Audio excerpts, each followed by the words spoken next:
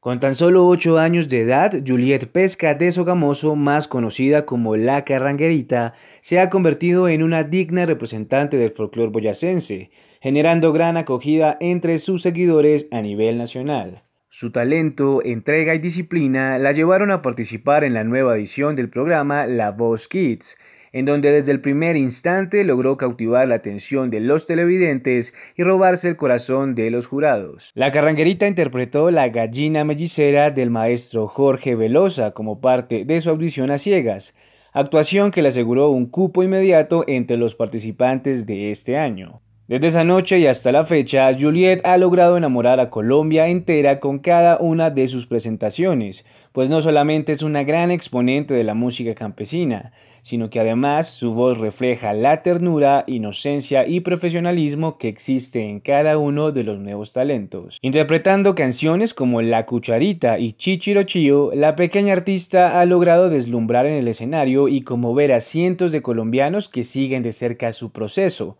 pues como parte de su trayectoria musical, Juliet ha querido hacerle un homenaje al más grande representante de la carranga, el maestro Jorge Velosa, Así lo ha demostrado a lo largo del programa y corresponde a su amor por el género, el cual ella misma describe como suave, con sabor y hermosas letras. Pese a las dificultades que ha tenido que atravesar su familia años atrás, producto de la violencia en el Guaviare, Juliet Pesca tiene todas las capacidades y el talento para llevarse el título de ganadora de uno de los concursos más vistos en la televisión colombiana. La carranguerita anhela convertirse en la embajadora de su género y dejar en alto el nombre de acá ante el mundo.